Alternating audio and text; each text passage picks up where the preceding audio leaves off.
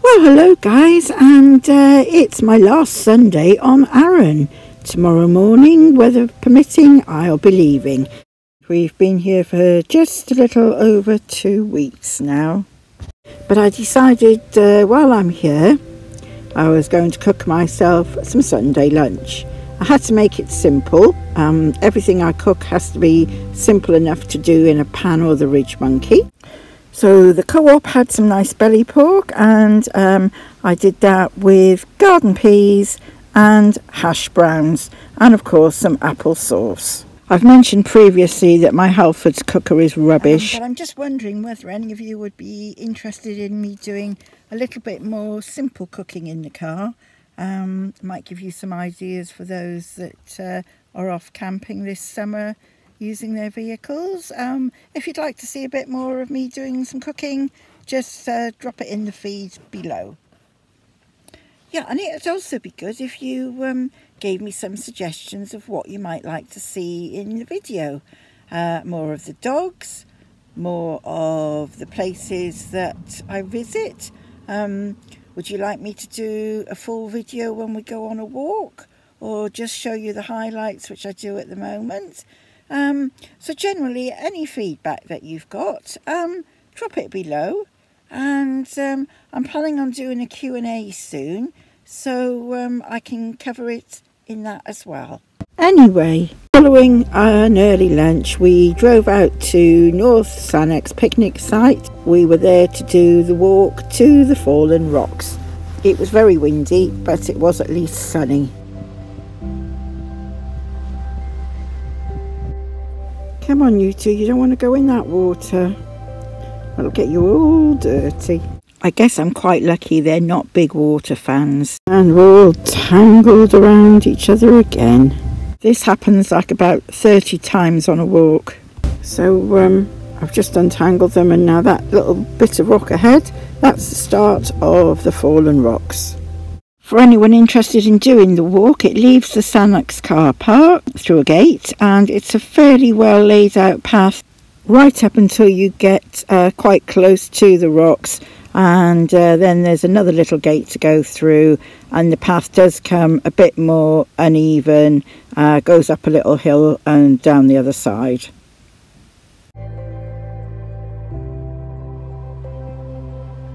And it's a beautiful sunny day. It is quite windy and quite cold. Um, and um, strangely, on this part of uh, the walk, there seems to be absolutely no bird life anywhere. It's absolutely silent.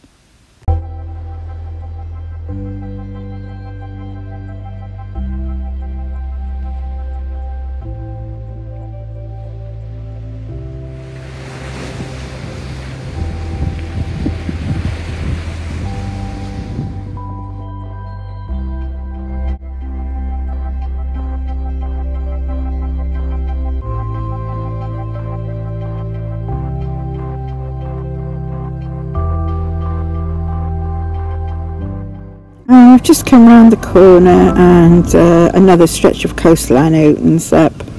Uh, it is beautiful, but still no birds.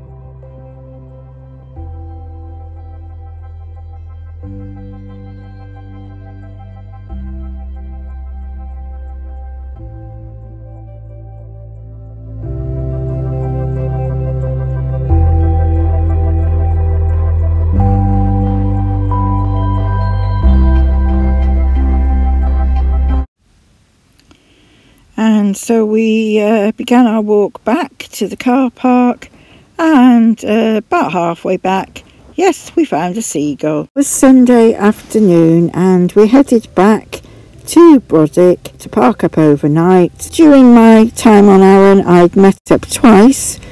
Stephen Bennett from Country Van Life UK. And uh, that afternoon he gave me a very much appreciated shout out on his channel. And Stephen was very generous in trying to help me get to my own personal goal of a thousand subscribers. And as I said, his channel is Country Van Life UK, and he is spending the winter living in his motorhome Christine on Arran. So um, that's one to go and have a look at. And at the moment, we're at 991 and counting. And uh, this is uh, Monday morning and as you can see it's fairly calm which is just as well because we're off to Lochranza where it's a turn up and go ferry service and I get seasick so um, the calmer the better. And our first stop in Lochranza was at the distillery. I'd looked at Largs Distillery, I hadn't been to Lochranza, so I thought I'd go and have a quick look around here. Unfortunately, the cafe was closed, but I still managed to have a look inside and a little look around the gift shop and their information displays. Uh, both distilleries are twinned but I think I do prefer the Lagg distillery. Uh, the cafe has got such a stunning view from it over the bay.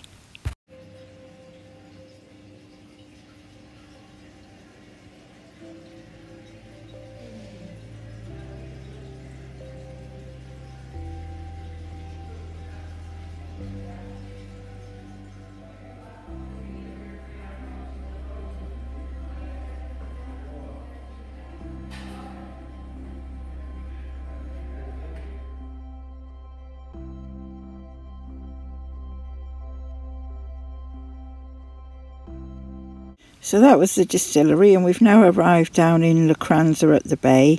Uh, the little white blob that you just saw in the distance is the ferry on its way over. That's the one I'm hoping to catch. I hope that there's not too big a queue. And we're just going to have a look at the castle.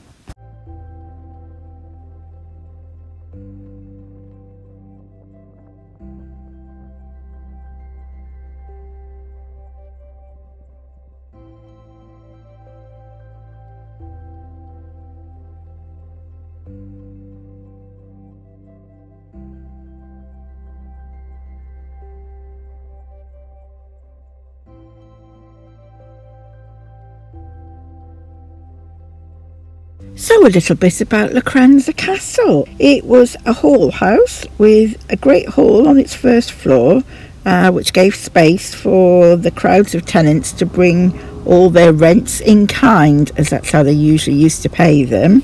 It was also used as a type of courthouse to dispense justice to the locals. The Lords of Knapdale originally built the castle in around the 1200s but it didn't become a royal castle until 1371 when the then owner, Robert Stewart, became the king. The ground floor entrance was heavily defended. There was even a murder hole where those inside could shoot down upon their enemies. And even in the modernisation of the 1500s, gun loops uh, were installed, which shows that defence was still a priority at Lochranza. In the 1450s, the king gave Lochranza to the Montgomery family, who in the 1500s decided to modernise the castle. They built a new tower in front of us and added two new stories and divided the interior into smaller, more cosy family chambers. The Montgomery family held on to Lochranza for the next 250 years.